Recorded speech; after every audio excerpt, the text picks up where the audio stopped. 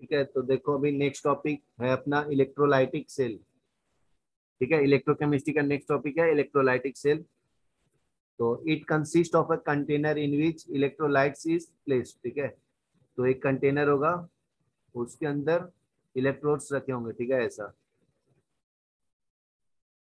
तो ये इलेक्ट्रोड्स हो गया, ठीक है? तो two electrodes are immersed in electrolytes and connected to a direct source ठीक है? तो ये दो इलेक्ट्रोड्स होंगे जो डायरेक्ट सोर्स से कनेक्ट होंगे मतलब डीसी करंट से। ठीक है? बैटरी से कनेक्ट होगा। ठीक है? एट एनोड स्पेसिस ऑक्सीडाइज ठीक है? ये एनोड है। इसका साइन पॉजिटिव है। ठीक है? ये क्या करेगा? Loss of electron. Loss of electron. ठीक है? With removal of electron. Loss मतलब रिमूवल ही होता है। ठीक है? फिर क्या है? These electrons are pulled from anode and push to cathode तो पॉजिटिव से नेगेटिव की तरफ़ जाता है ना? तो ये आपका कैथोड है। तो कैथोड पे क्या होता है? रिडक्शन होता है मतलब गेन ऑफ़ इलेक्ट्रॉन होगा। गेन ऑफ़ इलेक्ट्रॉन ठीक है?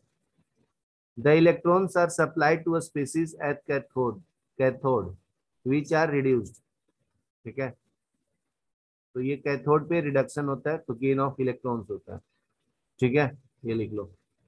तो इसको बोलते हैं हम लोग इलेक्ट्रोलाइटिक सेल्स इलेक्ट्रोलाइटिक सेल तो यहाँ पे क्या कर रहे हैं हम लोग?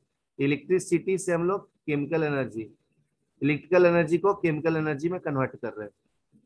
कल पढ़ाया था ना? इलेक्ट्रिकल एनर्जी को किसमें कन्वर्ट कर रहे हैं हम लोग? केमिकल एनर्जी में। है ये लिख लो।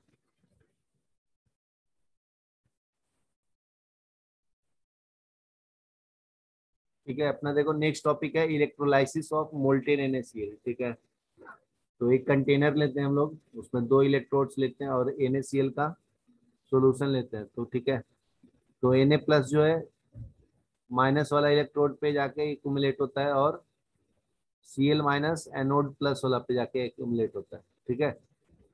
तो electrolysis cell consist of a container in which fused NaCl is placed two graphite electrodes are immerse in it ठीक है? ये दोनों इलेक्ट्रोड्स जो है, इसके अंदर हम लोग इमर्ज करते हैं। तो they are connected by metallic wire with a source of direct current that is battery ठीक है? नेक्स्ट है reaction occurring in the cell तो सेल के अंदर कौन सा रिएक्शन होगा वो बताता हूँ।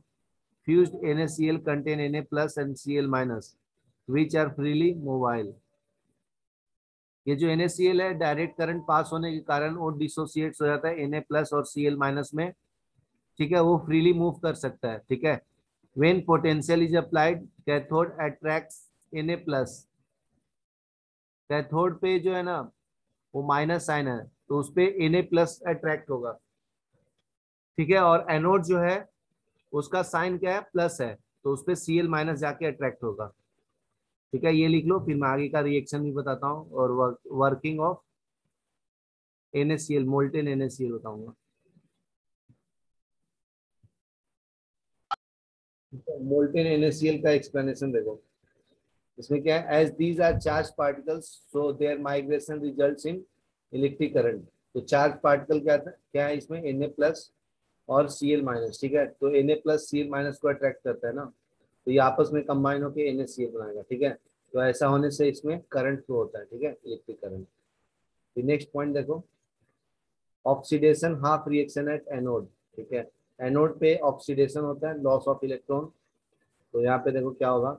C L minus ion migrate to anode ठीक है? एनोड पे क्या है? प्लस चार्ज है. सी एल माइनस आयन से. Each C L minus ion that reaches anode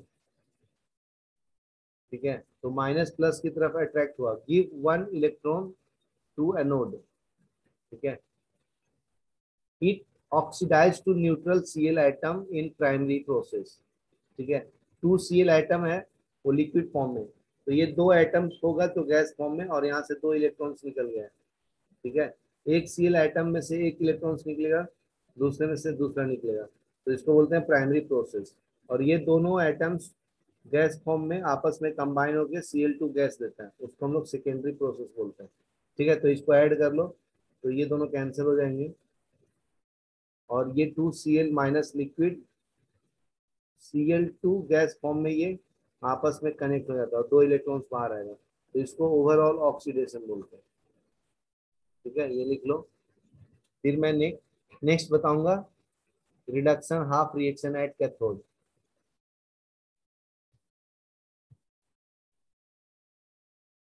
ठीक है नेक्स्ट देखो क्या है। Reduction half reaction at cathode